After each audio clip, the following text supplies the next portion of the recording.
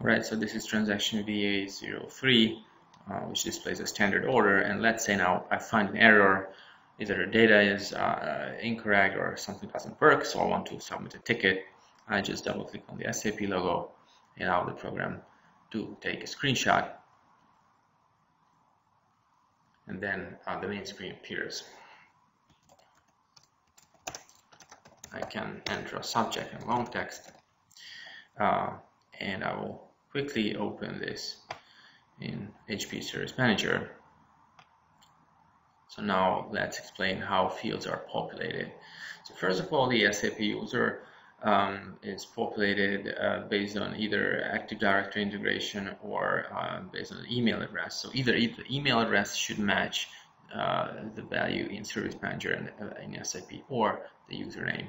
Uh, if none of these apply for your organization, then you can still maintain an explicit mapping in a customizing table in SAP.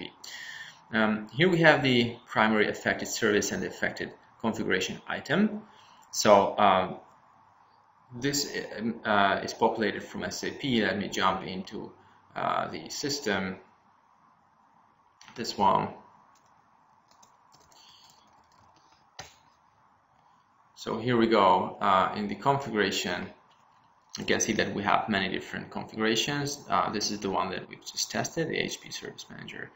And then you can assign uh, the SAP systems to this configuration. And for each system, you can define custom field values. So for this one, from which we've created the incident, uh, you can set up any field value combinations uh, as fixed values. So this is the affected uh, CI and the primary affected service.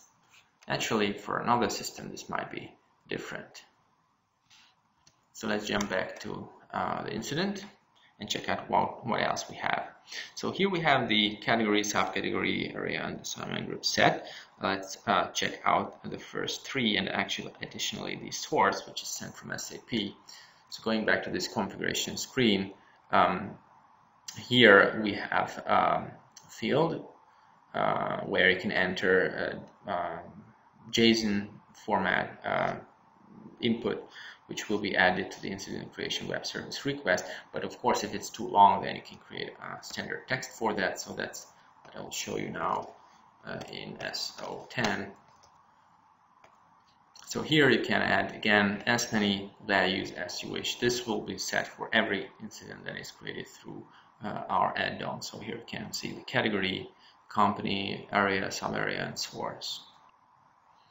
So as you can see, um, you can set a lot of fields uh, without any uh, custom development. You only need to maintain some customizing transactions in SAP.